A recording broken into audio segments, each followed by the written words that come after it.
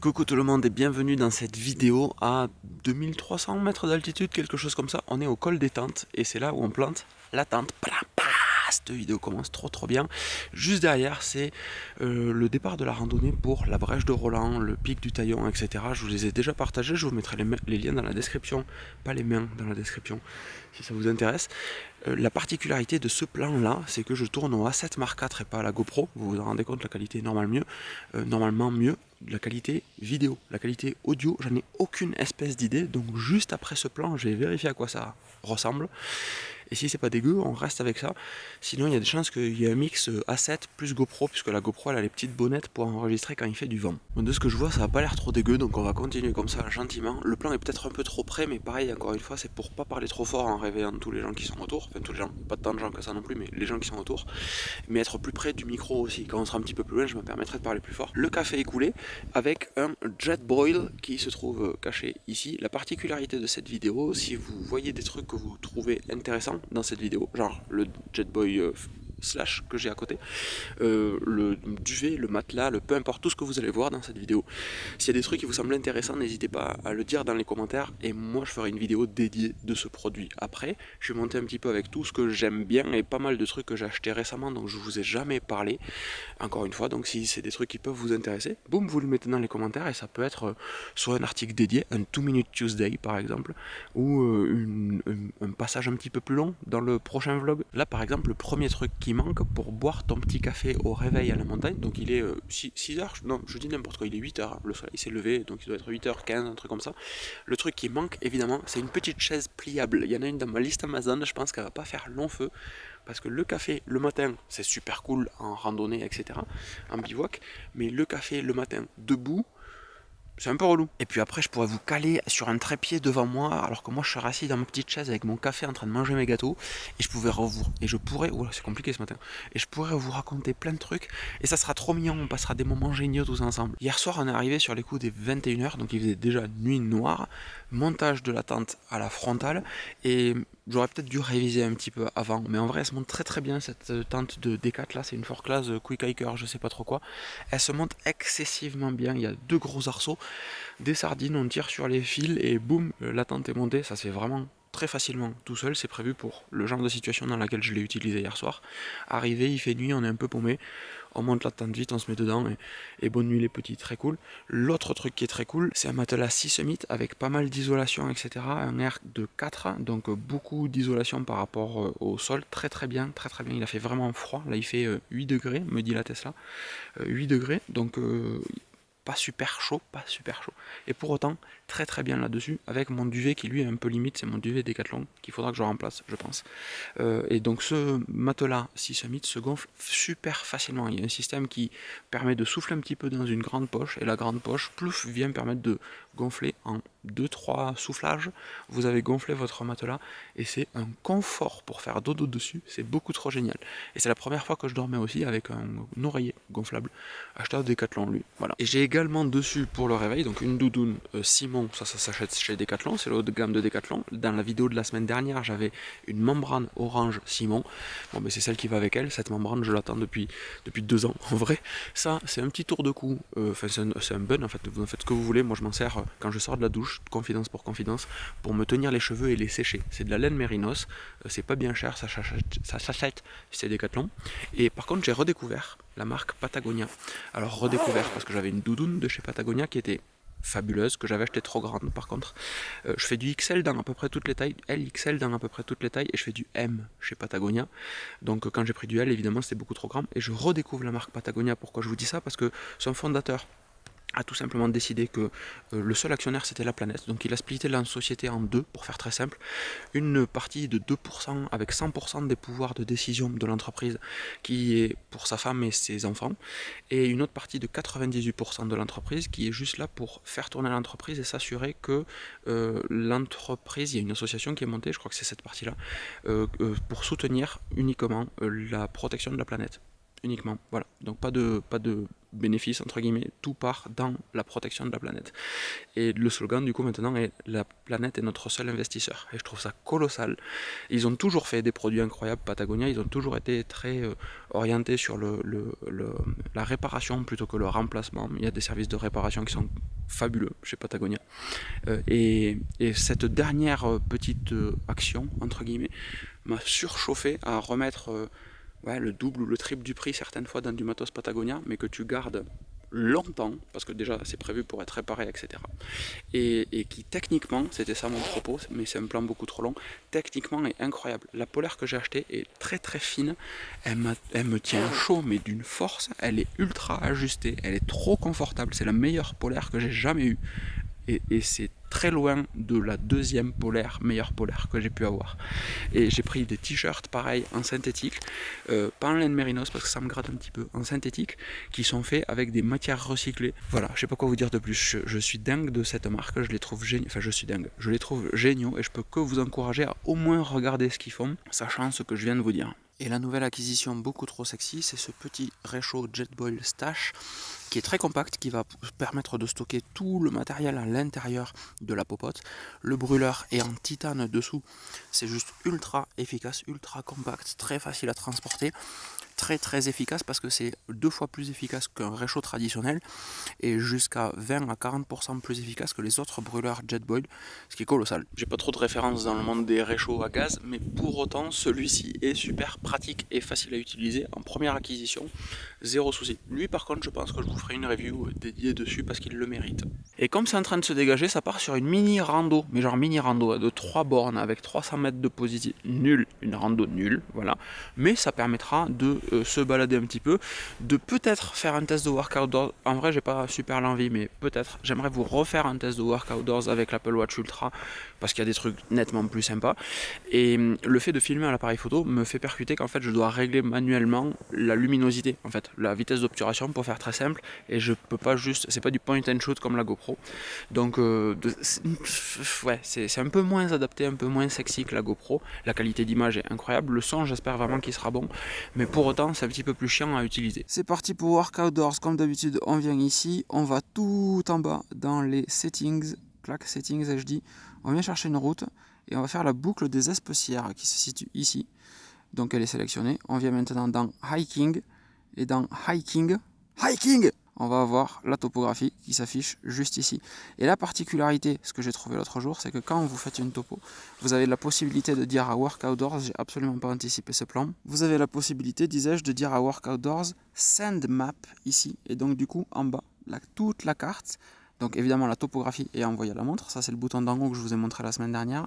Et tout en bas ici, Send Map et toute la carte va être envoyée à l'Apple Watch, c'est-à-dire que même s'il n'y a pas de réseau, ce qui est le cas maintenant, il n'y a absolument pas de réseau, comme vous le voyez, eh bien l'Apple Watch, elle, a la topographie, a toute la carte, etc. Jusqu'à une certaine limite, hein, si je dézoome, euh, voilà, la, tuile s'arrête, on n'a plus de réseau, on n'a plus de carte, mais pour autant, on a toute la zone actuelle, et ça c'est très très sexy. Et pour débuter cette vidéo, on va faire une battle entre le Sony A7 Mark Donc ici, stabilisé, machin, tout ça, poète poète, et la GoPro. Pour une raison très simple, c'est qu'il me reste 30% de batterie sur le Sony A7 Mark IV, et que j'aurais pas assez pour faire toute la sortie euh, si je veux bien faire les choses entre guillemets.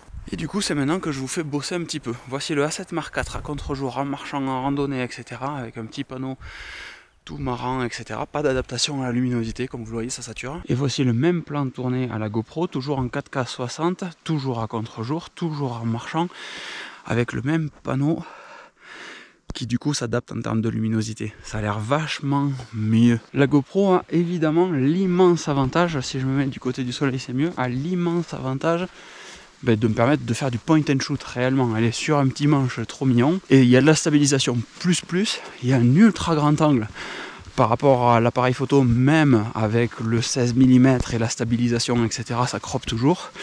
Il y a les petites bonnettes contre le vent effectivement, on perd un petit peu en qualité par rapport au Sony, un gros peu même par rapport au Sony, je pense. Mais c'est vachement plus agréable à utiliser. Putain, je suis essoufflé, merde. si je vous refais le même plan au Sony A7 Mark IV, j'ai désactivé la stabilisation pour avoir un plan un petit peu plus large. Mais déjà, je sens que je suis obligé de parler plus fort.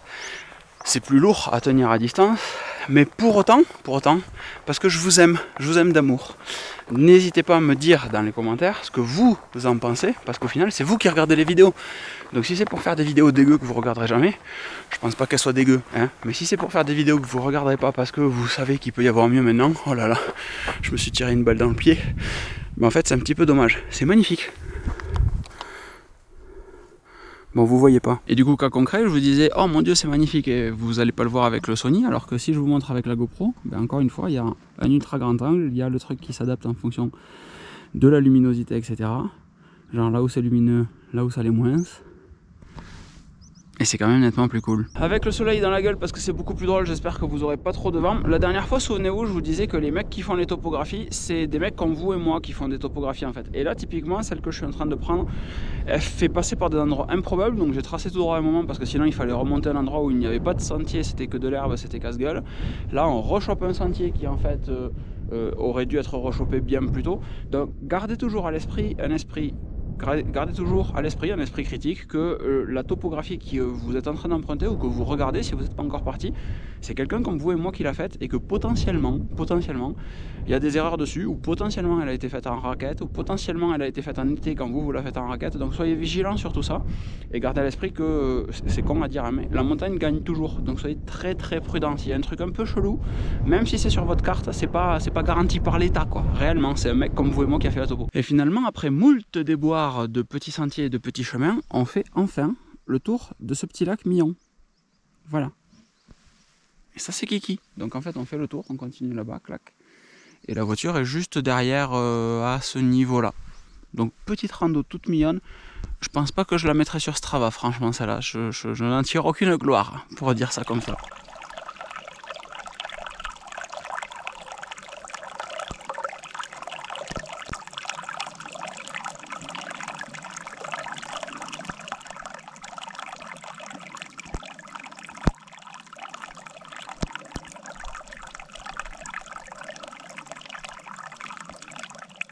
Et c'est toujours dans le brouillard que se termine cette petite randonnée avec la Tesla qui est là-bas qui nous attend, la tente qui est là-bas qui nous attend c'est cool, on m'a pas volé la tente. Et ça, c'est un très très bon point pour finir une randonnée, d'avoir toujours son propre matériel. Et voilà, la tente est pliée. Elle n'est pas toute mimi, cette petite tente. Donc, pour répondre à la question que vous vous posiez sûrement au début, c'est une Quick Hiker, Ultra Light pour 3 personnes. Et en vrai, j'avais pris ça parce que c'est juste la bonne taille pour dormir à 2. On ne dort pas à 3 dans une tente comme ça. Euh, c'est beaucoup trop compliqué. Quelle, quelle, est la suite des opérations? Déjà, d'avoir tourné la vidéo euh, que vous venez de regarder, le montage que j'ai essayé de faire pas trop mal. Euh, me conforte dans l'idée de prendre une GoPro. Enfin une GoPro, de filmer à la GoPro. Pourquoi je dis de me prendre une GoPro lapsus? Parce que la GoPro Hero 11 est sortie et c'est pas juste parce que c'est la nouvelle génération poète poète.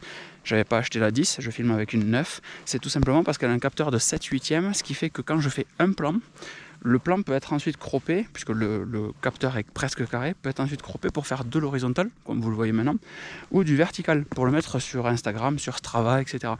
Et ça, pour moi, c'est oufissime, parce que ça m'évite de faire deux plans à chaque fois. Vous le voyez pas, mais à chaque fois, je fais deux plans, un avec la GoPro, l'autre avec l'iPhone, des fois même trois plans, un autre avec le A7, et c'est juste excessivement chiant et ça fait perdre un temps, un, temps de dingue. Donc, juste ce capteur de 7 8 pour moi, ça a un vrai intérêt.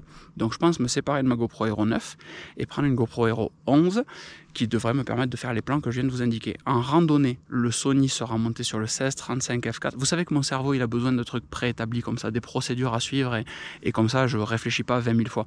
Donc, merci de partager ces tests avec moi. Le Sony sera monté, lui, avec le 16-35 f4, celui que j'avais là, ce qui me permet de faire des photos, des vidéos parfois aussi, mais des photos à l'ultra grand angle, à 16 mm ou à 35 mm, qui est ma focale préférée, et je garderai mon 35 1.4 pour des photos de reportage, enfin, typiquement quand je suis en road trip ou en, en balade, etc. Ça, c'est très très cool. Là, qu'est-ce qu'il lui convient de faire? La Tesla est là, elle me tend. On va la faire chauffer gentiment, histoire qu'il fasse bon dedans, siège chauffant, volant chauffant, tout ça. Et on prend la route pour Cabreton, pour aller au Baya Hotel and Spa. Euh, J'ai pas réservé de spa d'ailleurs, mais c'est juste l'idée de se poser au bord de la plage avec le Kindle, de manger, euh, de se faire servir. En fait, juste voilà, c'est un week-end détente complet, enfin un samedi surtout détente complet. Et dimanche matin, on reprendra la route pour revenir et monter la vidéo que vous vous regardez dimanche soir à 18h. Putain, c'est un Inception ce truc. La des voitures électriques, on est en altitude à 32% de batterie, on va arriver au superchargeur de peau avec 16% de batterie. Pourquoi? Puisque la gravité va permettre un freinage régénératif à la voiture et le fait qu'on va arriver avec euh, juste 10%, 16% en moins, 16% exactement, en moins que ce qu'on a actuellement. Et avec le chauffage, les sièges chauffants, le volant, le volant chauffant qu'on va allumer de suite d'ailleurs, j'ai oublié. Hop. Et ça c'est top moumoute. Top moumoute. Et comme je vous le disais tout à l'heure, bluffé par les produits Patagonia, là je viens de les tester en randonnée. Donc évidemment en randonnée il fait chaud, on transpire. Normalement on pue quand on termine une randonnée, en parlant simplement, hein. pas, de, pas de chichi ici. Hein. Et j'ai transpiré, j'avais ça, j'avais mon t-shirt Patagonia, donc encore une fois, la polaire Patagonia, la doudoune Simon par-dessus. J'ai transpiré, j'ai eu chaud euh, réellement. J'ai le t-shirt que j'ai sur moi depuis hier matin. J'ai fait ma journée d'hier au boulot avec, sachant que je montais dormir en altitude. J'ai dormi avec cette nuit, je viens de faire ma randonnée. Mon t-shirt est sec, il a évacué totalement ma transpiration et surtout mon t-shirt n'a aucune odeur. C'est exactement la même chose que si je venais de le mettre. Moralité, si vous êtes un gros crado, achetez du Patagonia?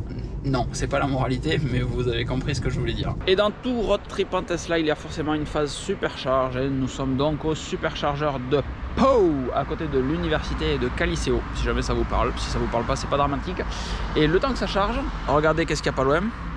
La boucherie table. Il est lumineux ce plan un petit peu, hein. oui il est lumineux. Sans transition, nous voici arrivés au Baya, dans une petite chambre sans prétention, j'aimerais vous dire, mais c'est pas le cas, puisque l'idée, je vous l'ai dit tout à l'heure, c'était de passer un très très bon moment. Voilà la vue a depuis la chambre directement sur la plage du Baya. Ça, c'est la terrasse du Baya en bas. Je vous en dis que du bien. C'est sponsorisé par personne. Hein. J'aimerais bien qu'ils m'offrent des chambres et des nuitées, etc. Mais, c'est pas le cas. Il y a une place de recharge électrique au sous-sol. Donc la voiture est en train de charger. Et ça, c'est très très cool. Et là-bas, ça, c'est le CERS, là où j'étais en rééducation. Les plus anciens s'en souviennent. Le Centre européen de rééducation des sportifs. Euh, et du coup, j'étais en rééducation là-bas quand je me suis fait les croiser en 2009, 2008, 2009, un truc comme ça. Et, voilà, donc il y a plein de surfeurs à l'eau. Euh, je ne sais pas si vous les voyez, je pense que oui, là-bas. C'est très très cool. Là, l'idée, c'est de prendre une petite douche, se détendre gentiment, parce que, encore une fois, j'ai le même t-shirt depuis hier matin, hein, on l'a déjà dit, avec une nuit dans une tente et une randonnée. Et après, euh, ben, aller se balader gentiment, puisqu'il fait, quand même, fait quand même très très beau. Et ça serait dommage de passer à côté de tout ça. Et fin de vidéo à euh, Cabreton avec le bruit des vagues derrière, etc. La Kindle dans la main, derrière moi un petit kiosque avec des glaces à l'italienne, tout ça, tout ça. Donc je vais faire le gros caca, puisque c'est un week-end repos détente encore une fois. Prendre une glace, se poser sur un petit banc, finir mon petit bouquin sur Scrum gentiment. Il me reste deux heures et quelques de lecture. L'idée c'était de le torcher ce week-end. Puis une fois que ça, ça sera fait, bah, retour à l'hôtel, peut-être commencer le montage de la vidéo, mais je pense en vrai que je le ferai demain en rentrant à la maison. Et vous me direz dans les commentaires ce que vous avez pensé de cette vidéo. Elle était clairement brouillon. J'aurais aimé vous partager davantage de randonnées, etc. Mais c'est pas ce qui s'est fait. Ça arrive des fois de faire des vlogs un petit peu à l'arrache comme celui-ci. Je vous fais des grosses bises. Je pense vraiment que je vais partir sur une GoPro 11 euh, dans mon choix euh, évoqué précédemment, même si la qualité du Sony A7 Mark IV était pépite. Des à très vite. Ciao ciao.